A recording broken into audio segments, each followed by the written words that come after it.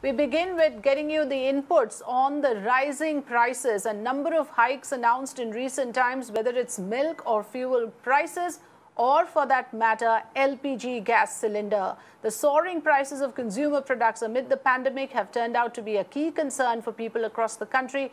Fuel, cooking oil and milk prices have been on the rise for several months now. In the latest, LPG cylinder prices have been hiked by 25 rupees per, per cylinder. Now, that's a big hike that we are looking at. The price of domestic cooking gas or liquefied petroleum gas cylinder has been hiked by 25 rupees 50 paise. As per new prices, a 14.2 kilogram cylinder will now cost 834.5 rupees in Delhi and Mumbai as opposed to the earlier price of 809. So both in Delhi and Mumbai, the prices have gone up for the LPG cooking gas. In Chennai, the price is now 850 rupees 0.50, uh, 0.5 uh, rupees per cylinder. In Kolkata, the rate is 835.5 rupees per cylinder. The latest increase has taken the price of non-subsidized cylinder up by rupees 140 in the past six months. Let me go across to my colleague uh,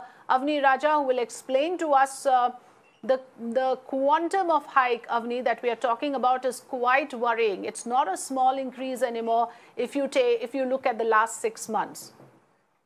That's right. LPG prices uh, have been increasing over the uh, last several months. In fact, in Feb and March, we did see some amount of rise uh, in the LPG prices. Now, once again, we are seeing the prices uh, increase by 25 rupees. This, of course, comes on the back of the global crude prices, which have been going up.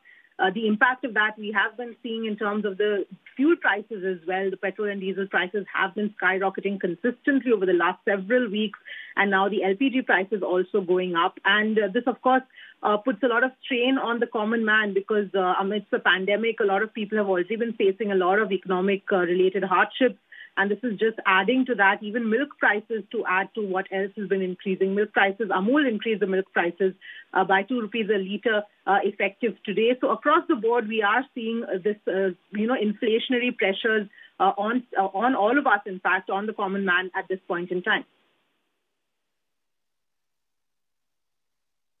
Yes, absolutely. This kind of inflationary pressure, like you mentioned, is coming at a time when the country is reeling under a pandemic. Many services and businesses are closed at the moment, which of course has hurt the economy, has hurt those who are running those businesses. On top of that, uh, you have this increase in prices of essential commodities. We are talking about cooking gas here. We're talking about milk. We're talking about fuel. Uh, these are items which are which are used in day-to-day -day life so uh, uh, let me go across to Santosh Mehrotra, economist, joining us on the phone line. Uh, Mr. Mehrotra, good afternoon. It's very important to understand that uh, the, the hike that we are looking at are on essential items. This is going to hit us all across board. Uh, whether it is the poorest of the poor or the middle class for that matter, because these are essential items. What do you make of the hike that uh, has been just announced for LPG cylinders? Well, we already know that petrol and diesel prices have reached a historic high. And this is because of the flawed policy of trying to rake in as much uh, tax revenue, uh, indirect tax revenue. And indirect taxes are always very regressive. That means they hurt the poor, the middle class more than they hurt as a proportion of their income, the better off. And with, with, in a situation of a once in a century pandemic when joblessness has increased and those who have jobs have seen wages fall, it's really tragic that the government continues mm. to hmm. pursue uh, this kind of policy. Because as an economist, I can say that this is counter-cyclical. It, if you want to give a stimulus to the economy and increase aggregate demand, you need to cut taxes and increase expenditure. The increase in expenditure generally has been relatively small, and the government keeps increasing these indirect taxes. If it needs revenue, why can't it tax the rich much more? The super rich, in particular, is what I'm talking about, the upper middle class and above. Hmm. Why does it have to go on raising revenues mm-hmm. through gas, petrol, diesel, which are which are essential items, and they are they are an input into almost yes. all commodities and all services. And that raises the inflation mm-hmm. rate in the economy. It is counterintuitive for the government to be continuing with this kind of policy. Yes, so let's understand this, Mr. Mehrotra. I have Anila Singh of the BJP joining us. I'm going to put that question to Anila Singh. Uh, uh, good afternoon, Anila Singh. I want to ask you the question that Santosh Mehrotra is raising here, that why is it that the government is consistently decided in a way to uh, derive indirect taxes from these items rather than cutting taxes and increasing expenditure at a time when the country is reeling under a public health emergency of the pandemic. Why is it that the government has taken this route of somehow uh, drawing revenue through indirect taxes on these items, cooking gas, petrol and diesel, which of course will have a cumulative effect on other items as well? Any government it tries to balance and it has generate money for the expenditure. We know it that we are going through a very trying time because of corona. So government needs money, money to run the country, and uh, we have got more than 80 crores of people to feed because government is supplying food to them. So if somebody says that why the prices of LPG or cylinder or petrol or diesel are rising, I can only say that still they are heavily uh, subsidized. So government knows very well from where he it has to generate some money from and uh, where it has to uh, spend some money. So this is the balancing act, and uh, like if somebody has to question on it, they have got more uh, uh more uh, more willingly they can do so. But I think that it should be left. Um, between the government and the people of this country because um, it is very easy to question. But if uh, the opposition has to be asked from where the money is going to come to run the country, so where the answer is. And my simple question is, okay, let me, let me put that to Mr. Mehrotra. If you heard that, Mr. Mehrotra, these are arguments we have heard before as well, that it's a tough balancing act the government needs the money to run the country. Where is it going to come from? Where is the money going to come from? That's the question Anila Singh is asking. I, I anticipated that question. I already answered it. So let me repeat if she was not listening. Hmm. Very simple.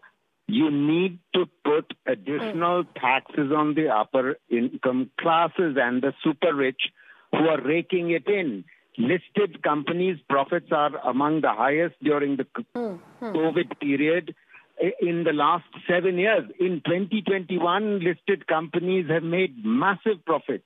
Why is the government not increasing uh, a cess on personal income tax and a, a health cess on corporate income tax? Point one. Point two.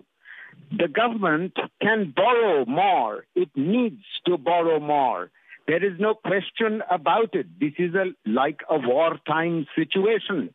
So, you know, the, the BJP spokesperson is simply repeating what the Honorable Minister, Mr. Pradhan, was saying. Yes. Oh, we need money for government programs. Hmm. Trouble with this government is that it doesn't understand macroeconomics 101. If you keep taking counter-cyclical action, meaning the economy is down, aggregate demand is down, you increase taxes to cut demand even further. Well, if this raises prices for everything, demand is going to collapse even further. How is the economy going to revive? I mean, this, government and its economists, unfortunately, do not understand macroeconomics 101. And that's why uh, the collapse of our economy last year was the worst of any country because we didn't put in place a program of fiscal stimulus. What is a fiscal stimulus? Cuts in taxes. What have we? What are we seeing? Increases in taxes, and in on the other hand, You cut taxes and you increase expenditure. That's what a fiscal stimulus is. The government of India put in place a fiscal stimulus. Okay, I got your point, Mr. Mehrotra. That's a very significant point, no, which has been made by many economists, Anila Singh that your idea now is to boost demand. You have to increase consumption in order that the economy recovers. But you seem to be doing just the opposite. What Mr. Mehrotra is pointing out that these policies will only ensure that your aggregate demand comes down. The purchasing power of people in the middle income, in the middle class is going to come down when you increase prices of these essential items. It will leave them with that much less disposable income that will reduce demand, Anila Singh. Why is your policy working at cross purpose for the economy? See, point one, when Mr. Mehrotra says that this government doesn't have any understanding of macroeconomics, I think that is absolutely incorrect to blame any government because we know it very well that uh, when policies are being made and executed, they are being formed by the experts. So just saying that government doesn't have any understanding of macroeconomics and we are into microeconomics, that is absolutely, absolutely incorrect statement to make. No, why can't you increase corporate income tax? Let, us no, have you answer allow, that, what allow, Mr. Mehrotra was also asking. Why can't corporate income tax be increased since those companies are raking in big profits? Can we, can we have an answer to that at least? I am talking, you, you are interjecting and you are breaking my thought uh, process. So it will be very difficult for me to answer all those uh, accu- uh, accusations which are being made by Mr. Mehrotra. So allow me, please. So and uh, uh secondly, sure, he says that yes, one thought process is that that you reduce taxes. But at the same time, I can, and uh, yes, one more thing he said was about the stimulus package. So it, uh, stimulus packages have been given by the government time to time, and a couple of days back also, stimulus package was given to the country. And uh, thirdly, I want to say yes, one thought process says, one school says that to reduce taxes so that people can have more buying power, I can say that the government has uh, come ahead and they have uh, reduced interest rates as well. So you can go ahead, you can borrow money, you can invest that money in your work, and you can generate money, you can spend. So there are different school of thoughts, but it doesn't mean that what opposition says or one particular person says or an institution says, and government is going to agree to that. Even government has got set of experts who know it that what they have to do in present situation. Okay, but these are questions, Anila Singh, that will be asked. Uh, all of us are hit hard by, you know, the in recent increase in prices because a number of items uh, have come under the purview of the hike in prices, and these are the essential items of day-to-day -day life, whether it is the cooking gas or your petrol and diesel, or for that matter, milk.